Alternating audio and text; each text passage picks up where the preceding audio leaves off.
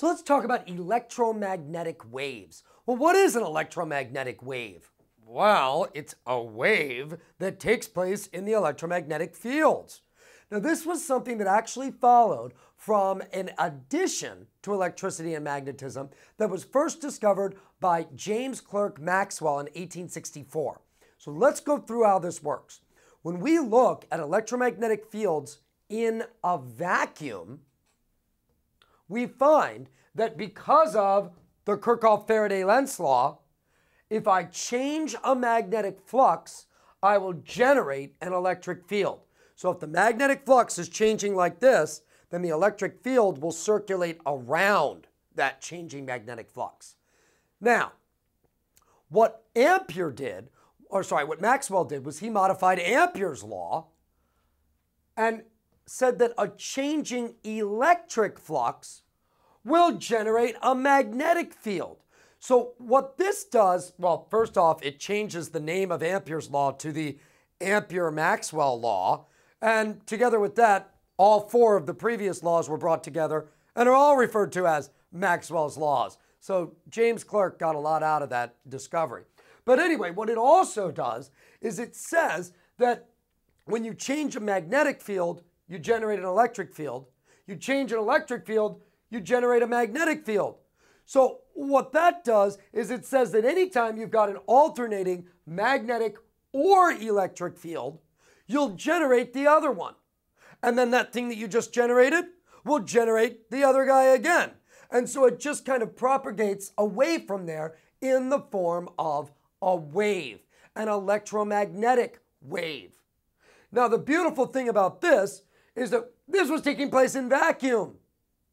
So in vacuum with no medium there, we can still have an electromagnetic wave. And in fact, we will always have an electromagnetic wave. We can't avoid it if we start off with an alternating electric or magnetic field. We can do that just by having positive and negative charges switch places back and forth. That's going to generate a changing electric field that continues to change. It doesn't just change once, it continues to change over and over and over again. And that will generate a changing magnetic field, which generates a changing electric field, so on and so forth, giving us this nice electromagnetic wave. All right, the speed of the wave can be determined from the standard constants in electricity and magnetism. The speed is given by the square root of 1 over mu 0 times epsilon 0. Mu 0 is the permeability of free space and is associated with magnetic fields, whereas epsilon 0 is the permittivity of free space and is associated with electric fields. So we can see them both together generating the speed of electromagnetic waves.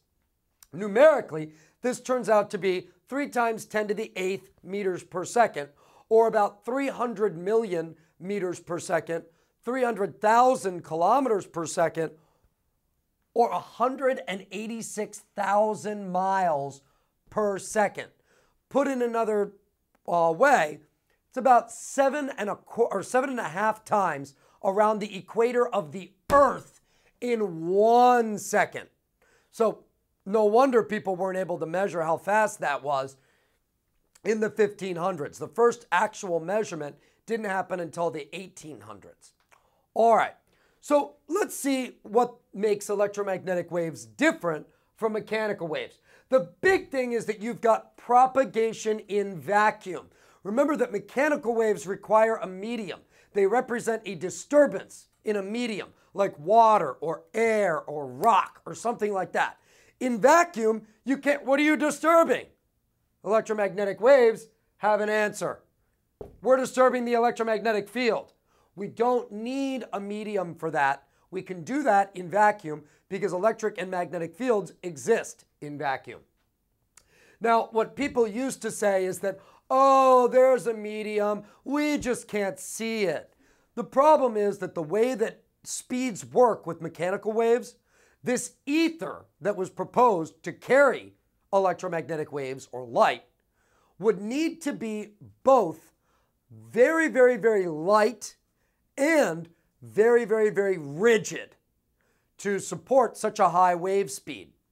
So, To put it in another perspective, sound waves propagate through aluminum at about 5,100 meters per second.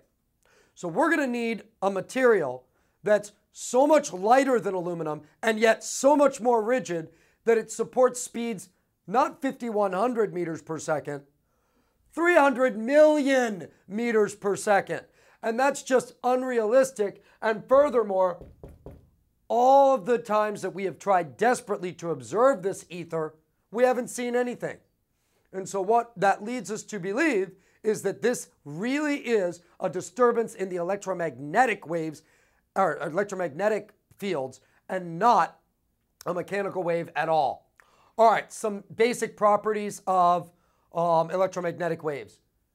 When you have a plane wave, and that means that it's just coming like this, not like a, a light source that goes out all like that, but just kind of plane wave like that, always associated with an electric field and a magnetic field that are perpendicular to each other.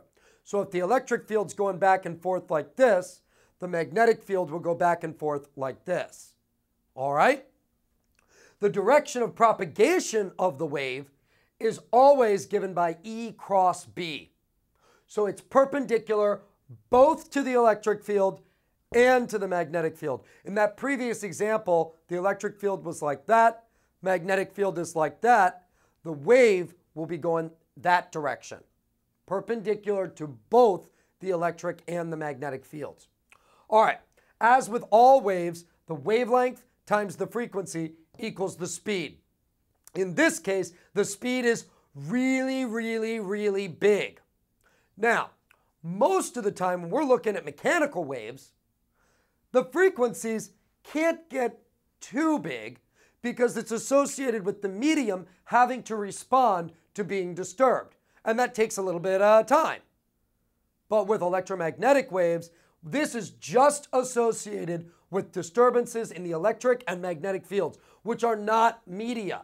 So that means that the frequency can be very high. It's limited only by how quickly we can move charges back and forth. So there are electromagnetic waves that are known with frequencies up to like 10 to the 22, 10 to the 24 oscillations per second, which is way higher than any physical medium could sustain. So anyway, that's electromagnetic waves. And by two. I can't do this with you two laughing back there. Work it, work it. So if we had, no, that's not right, three coplanar points. So have you ever gotten off an airplane? Has to be. Less than. Yeah. Dang. Is it like 500 degrees in here or what? All right, so when you're in chemistry class, you're going to be doing a lot of work. You're going to be starting over. So as an example, we could consider like you've got a chain hanging from two um, two fix. Yeah.